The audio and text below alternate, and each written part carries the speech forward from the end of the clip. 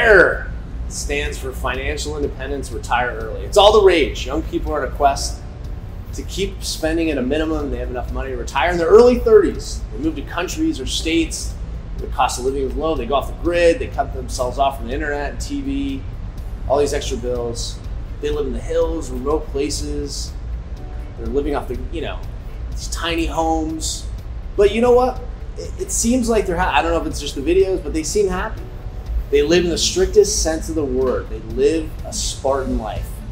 And it's refreshing to see these people do it. And to be honest, in some ways I envy them. To have the freedom from technology, being with, one with nature, to have the freedom from credit cards and banks and the IRS.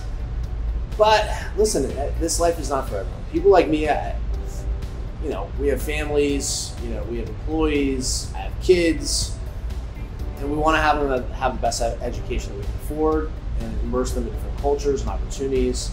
So we're not going to live off the grid. But these fire movers are living, and there's certain things they're doing differently. One, they don't rely on cash savings. That's a surefire way of losing money. You may be able to save a million bucks, but after five years, that million dollars will probably be worth about 500,000 because of inflation. Personally, I think inflation is north of 10%. So you have to invest, and you have to make the money work for you, and you have to earn more money. It's the only way to effectively diverse your investments. And I'm doing it right now. I invest in stocks and businesses, bonds, ETFs, real estate, gold, silver, a lot of silver. I love silver, and crypto. Some stocks have dividends. Uh, in some businesses, I have, you know, I'm, I'm involved with heavily. Some I'm, I'm a silent partner. But ultimately, I get the money out there. And I'll put as much weight on security and hedge investments, and, and I also look at returns. Dr. Guy Baker, founder of Wealth Teams Alliance in Irvine, said, it shouldn't be surprising. Almost a decade ago, a research came out from Wharton showing that controlling spending and delaying retirement had a greater impact on attaining a comfortable retirement than any particular asset allocation you select. In fact, the paper suggested you needn't worry about optimizing investment returns for two reasons. First, there's little practical difference between the optimal return and the average return. Second, if that difference in return is important to you, you can make it up for difference by simply just working longer. And I know that working longer seems counterintuitive to this fire movement, but think about it.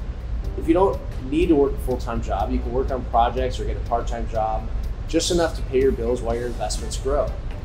This also puts a spotlight on assets that are meant to protect the value of your money like gold.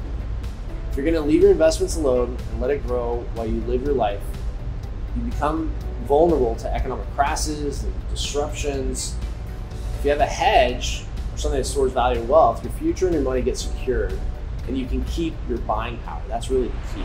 If you're interested in investing in precious metals and you want to talk to a no hassle representative that has experience in physical metal, give us a call. Phone number is 877 646 5347.